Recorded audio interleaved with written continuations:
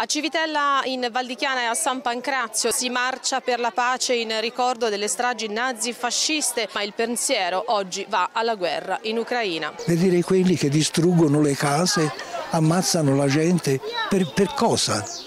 Ma la storia non ha insegnato assolutamente niente. 9 chilometri per ripercorrere i luoghi della strage era il 29 giugno del 1944. Tra San Pancrazio, La Cornia e Civitella vennero trucidate 244 persone.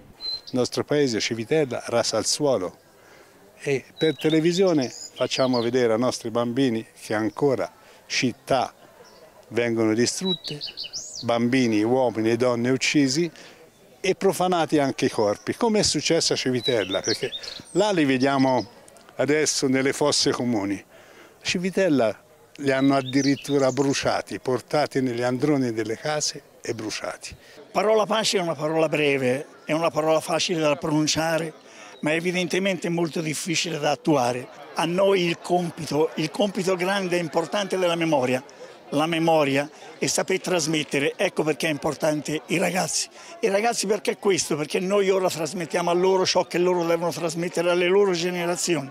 Ancora più importante andare a lanciare in questo particolare momento storico in cui vediamo gli orrori della guerra tornati in Europa, è importante andare a lanciare quello che è un messaggio di pace sempre e comunque, non solo in Europa ma in tutte le parti del mondo.